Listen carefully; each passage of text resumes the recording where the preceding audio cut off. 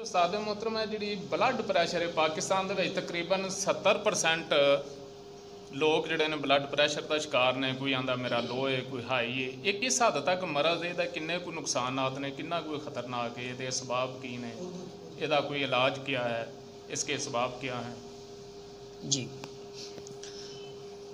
नहमदहू व नसली अला नबी करीम अम्माबाद फ़ौज़ बिल्लासमीम मिनशैतवानरजीम बसमीम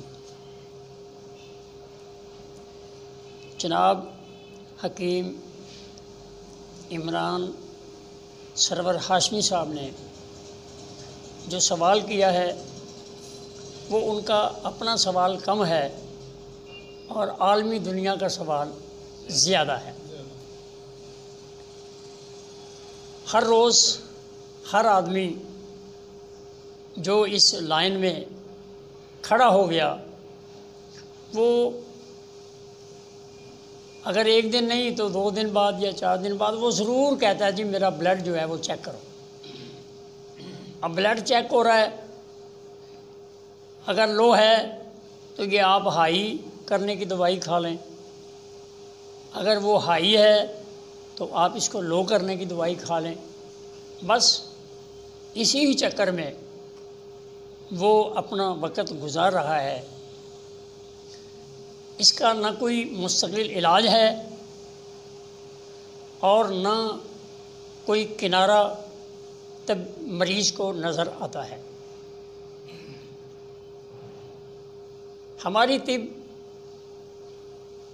तिब यूनानी देसी तरीका इलाज तमाम इमराज और उसके अलामात पर पूरी नज़र भी रखती है और गिरफ्त भी रखती है।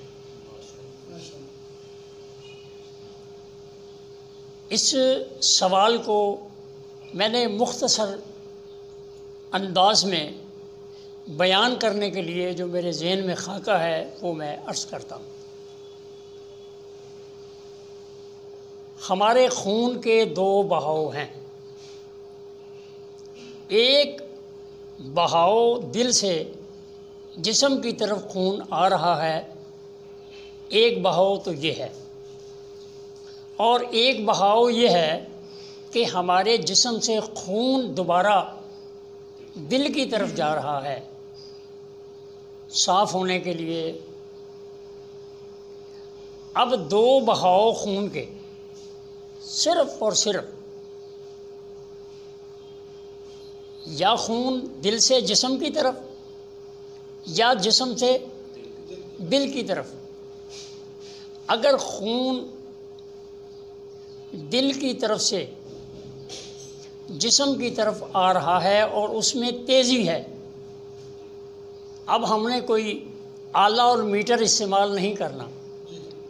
तबीब ने अपनी उंगलियों का इस्तेमाल करना है। अगर उसकी नबज़ उजलाती है तो उसका दिल से आने वाले खून का प्रेशर ज़्यादा होगा। नबज़ के मदारज को समझते हुए हम उसके ब्लड प्रेशर को हम अच्छे अंदाज में समझ सकते हैं। जिस नबज़ का जो अतवार होगा, उसके मुताबिक उसमें तेज़ी होगी, किसी मीटर की ज़रूरत बिल्कुल नहीं। अब इसका इलाज, फिर अगला, दूसरा पहलू। अगर ऐसा उजलाती नबज़ के तहत, खुश्की के तहत, दिल से आने वाले खून में अगर तेज़ी है तो अजवैन, पुदीना या अदरक सौंफ का कावा देने से उसका ब्लड प्रेशर जो है, जो हाई है, जो तेज़ है, जो खून तेज़ी से आ रहा है जिसम की तरफ़, उसमें दरमियाना रवि आ जाएगी और उसकी तेज़ी जो है वो कम हो जाएगी। दूसरा,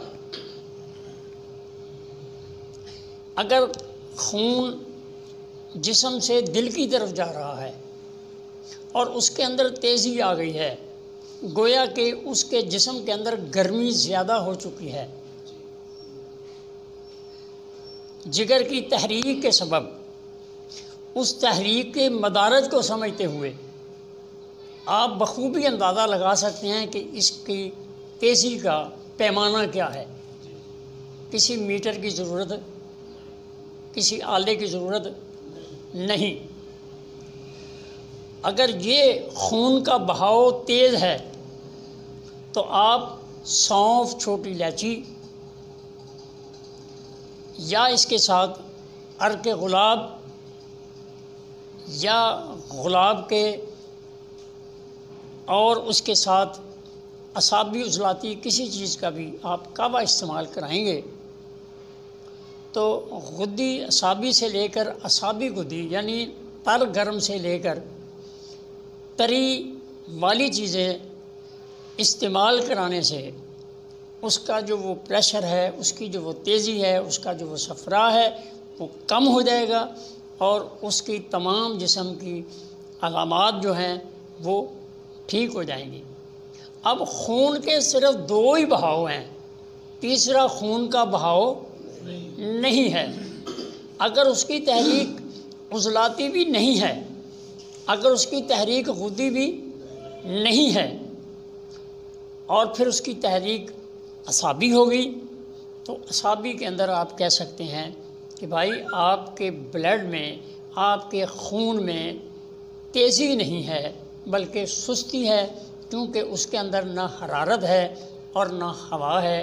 दोनों चीज़ें कम होने की वजह से उसमें प्रेशर नहीं होगा, उसमें रतूबत ही होगी और रेड सेल और येलो सेल ये दोनों कम होंगे, जिसकी वजह से उसके अंदर तेज़ी नहीं होगी। हकीकी ब्लड शुगर हकीकी तौर पर ब्लड का तेज़ हो जाना प्रेशर हो जाना दो सबब हैं और तीसरा सबब जो है वो बिल्कुल लो की सूरत होगा, जो कि इंतहाई ख़तरनाक है। यानी ये कमज़ोरी का सबब है और कमज़ोरी मौत का सबब बन जाती है। इसके अंदर लौंग और दालचीनी इसके अंदर कोई नींबू या खट्टी चीज़ का इस्तेमाल करके देने से उसका ब्लड जो लो हो रहा है वो ठीक हो जाएगा और आपको किसी और आले की किसी और इलाज मुआवजे की ज़रूरत नहीं रहेगी ਅੱਛਾ ਉਸਤਾਦ ਮੁਹਤਰਮ ਮਦਾਰ ਜੇ ਮਰਜ਼ ਦੇ ਨਾਲ ਅਸੀਂ ਇੱਕ ਕਬਦ ਔਰ ਸੋਜ਼ਸ਼ ਦੇ ਮਕਾਮ ਤੇ ਇਹਨੂੰ ਸਮਝਾਂਗੇ ਕਿ ਬਲੱਡ ਪ੍ਰੈਸ਼ਰ ਹਾਈ ਹੋ ਗਿਆ जिस तरह जिस तरह तहरीक अपनी करवट लेगी जैसे कि मैं पहले अर्ज़ कर चुकिया तहरीक के सबब ही ये अलामत ज़ाहिर होनगियाँ जो जो तहरीक बढ़ती जाएगी, जी उस तरह वह प्रैशर जोड़ा है, वो बढ़ता चला जाएगा। जब तहरीक टुटेगी तो वह सारिया अलामत टुट जाएगियाँ तस्कीन वाले मुकाम पर अपनी अलामत होएगी। तहलील वाले जगह पर अपनी अलामत होएगी, लेकिन प्रैशर जोड़ा है वह तहरीक वाला मुकाम जो है, वो ही ज़ाहिर करेगा। उस तहरीक में ही समझ के तुम फैसला करना है, तस्कीन और तहलील वाले मुकाम मद्देनज़र नहीं रखना।